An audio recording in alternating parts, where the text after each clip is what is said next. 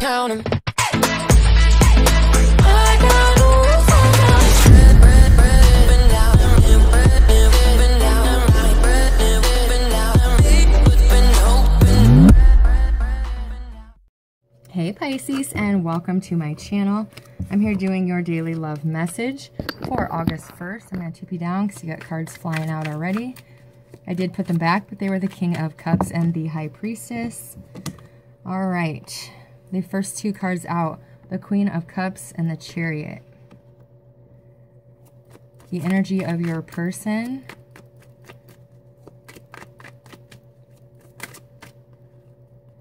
is the Two of Pentacles, clarified with the Two of Swords.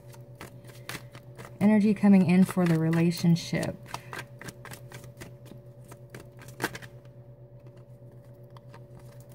The Devil, the Eight of Wands, and the Three of Wands. And the outcome. What is Pisces' outcome today?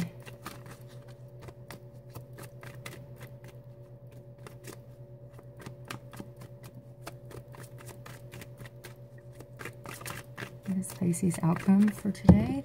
Whoa, way too many. There we go. The Seven of Cups and the Queen of Swords in reverse. All right, your bottom of the deck and shared energy is the Emperor, clarified by the Five of Wands and the Ten of Wands. Bottom of the deck, King of Swords, taking action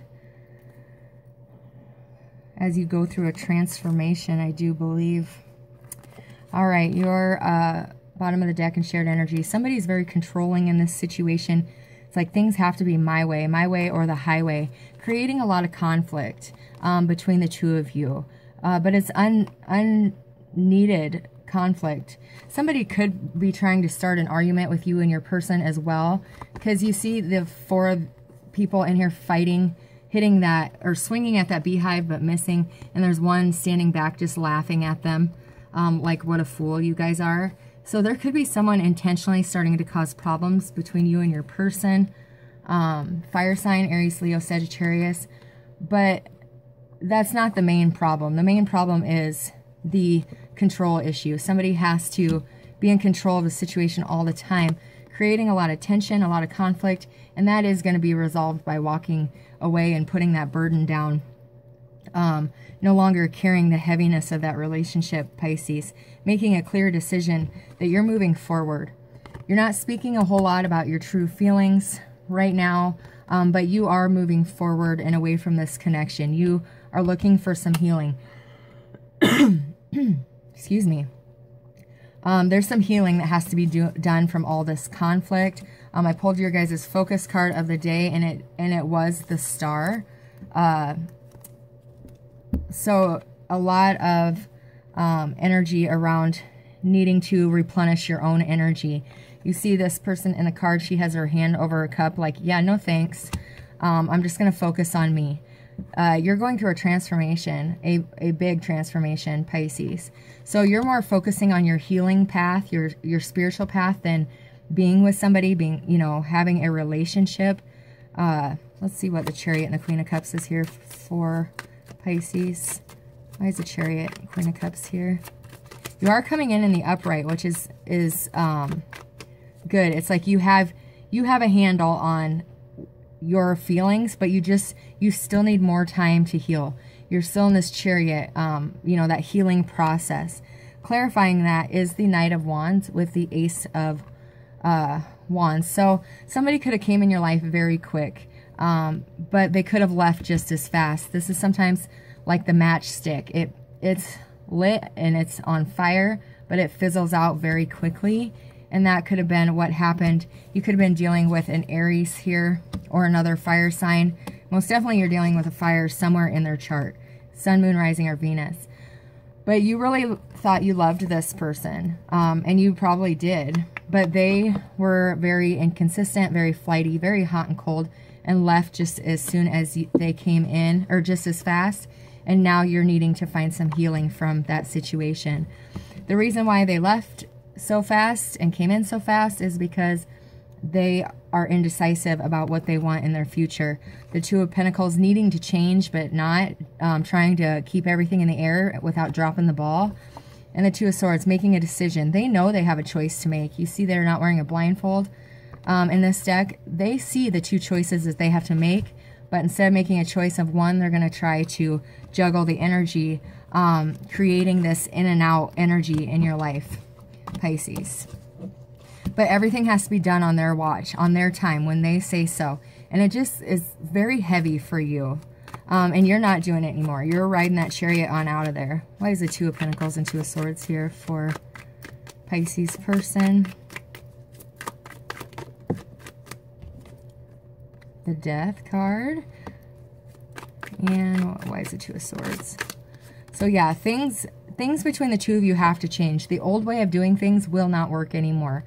Um, they are going through a transformation as well. They are purging through this type of energy, this flaky, inconsistent energy. Um, they are working through that and they will be successful at overcoming that. But they first have to get over um, some issues. Uh, some of them are dealing with childhood issues. Um, they need some heart chakra healing. Yeah, from childhood. So they could be needing to work on their root chakra as well, but they will overcome this. They will get through this transformation and they will make a decision. They will make a choice, but right now they're fighting that change.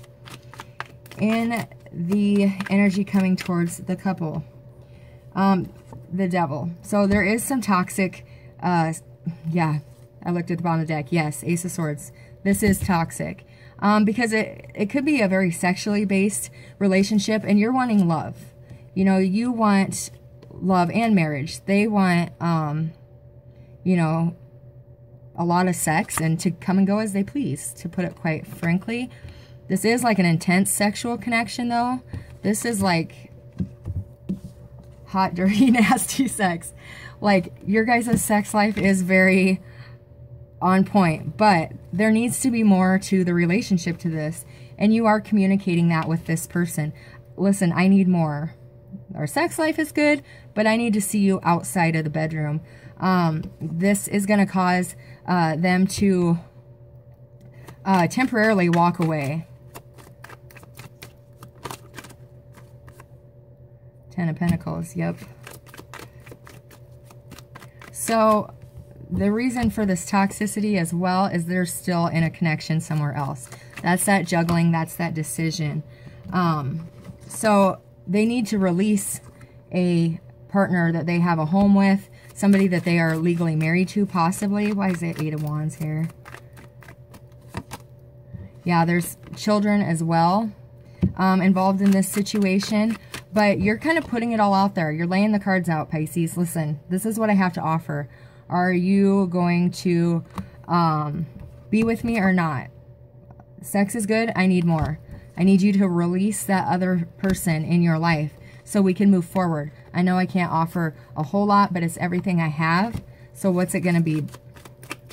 Why is the Three of Wands here? This is going to manifest into a, a very strong connection. Yeah. They are going to eventually move in your direction. They are eventually going to um, untie themselves from that other wand. Um, and bringing this will bring the two of you together. But you have to speak honestly about how you feel about this connection because currently either you or them are trapped by that other connection or feel they're trapped, feel they are, think they are. They are not trapped. Um, but this is a very strong um, soulmate connection between the two of you. In the outcome, you do have the Seven of Cups. So you could have a lot of options. This is one and seven for me. This is a life partner or a potential life partner for you, Pisces. But there's a lot of options for some of you. For others of you, there's a lot of freaking confusion. And the confusion lies between this. Are we something or are we not? Are we together or are we not? Are we going to try this or not? Are you going to leave that other person or not? There's just so many questions and they're refusing to speak they could be they could be giving you this you know like not responding to you right now or not very free with their information or or their plans so it's just leaving you in this state of confusion like what in the hell i need to i need to walk away from this why is the seven of cups here yeah it's like they're refusing to change. They're refusing to let go that other person, refusing to get out of this drama. And you are tired of the drama llama and ready to move forward. Yeah. They're they're not going anywhere just yet.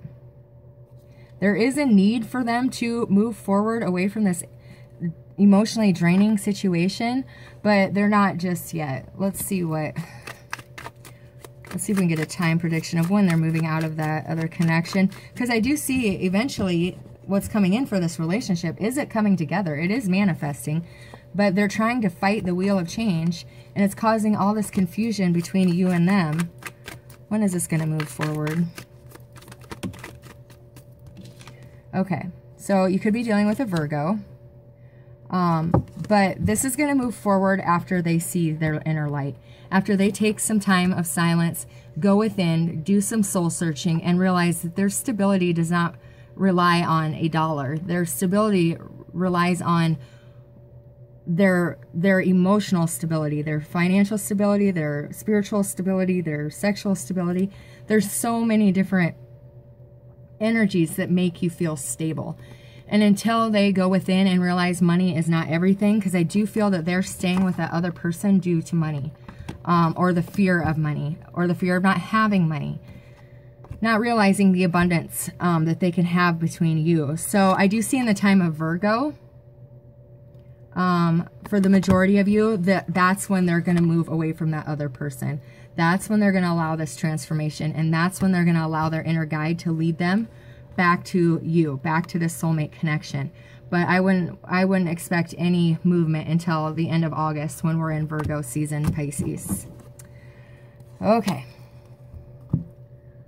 Um I do see I just got the message you delivering the message that you're no longer going to be their third party. So if they want you to fill their goddamn cups, you better move away from that connection. And and let's do this. So for some of you, you will give them that ultimatum and it will work out in your favor. Others, you might give them ultimatum and you won't hear from them till Virgo season. So uh, it's all dependent on your situation. Let's see what guidance we can get for Pisces for August 1st.